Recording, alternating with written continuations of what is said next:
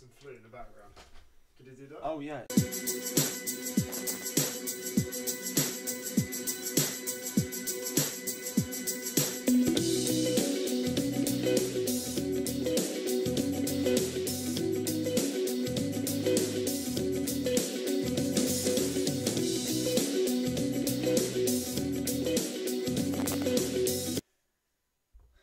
Testing.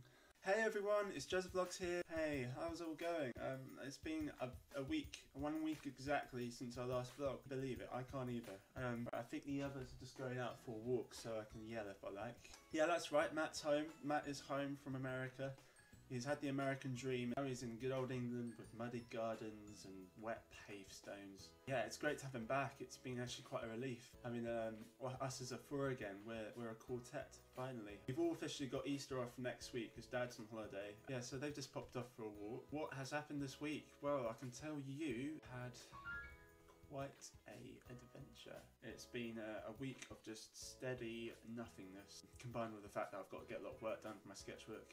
I changed my idea um, for my book project to be based on the history of music. Originally I was doing an idea about the Four Guardians of Iceland, the Icelandic folktale, uh, but that just went completely up the wall. So I just finished that, left it on the side and started again with this new concept where I'm gonna have like a whole book based on music and musical instruments. I put my interest into the project, of course, which is great. Means it motivates me every day to get a little bit done. Every little helps. Yeah, guys, uh, last night we watched um, final of Mission Survive program that they've all been watching, and uh, I kind of got onto the last episode and golly gosh, it was great. It was so intense because the last contestants, the three contestants, was one rugby player, a model, and Kelly Holmes. And it could have been anyone. The model won the competition. All in all, that's a very interesting program. I will watch it when I have the time in years to come. Don't know if you can see that, but uh, got a blister yesterday from helping Dad out the allotment. Yes, my dad does have an allotment. It's looking alright. It's looking alright for a winter garden. Um, of course, nothing is there. So today is Easter Sunday, having lots of chocolate.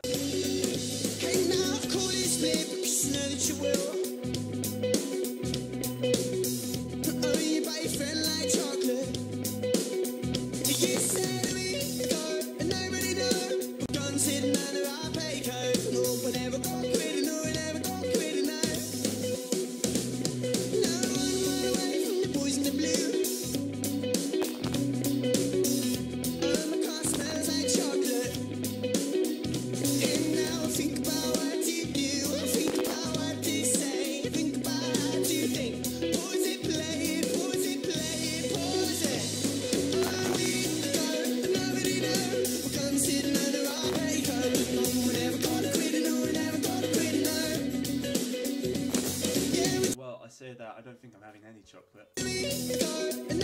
Apparently, I've been a very naughty boy this year. Uh, wait, hang on, that's that was supposed to be for Christmas. So, being Easter, uh, we headed to church in the morning. Uh, went for the Easter service, and I'll go again tonight because I didn't see a few people down there. It was great to go down to St Andrews and see some old faces. Yeah, headed over to Marcus's on Thursday. We went to see Tom and Alex as well. They came along.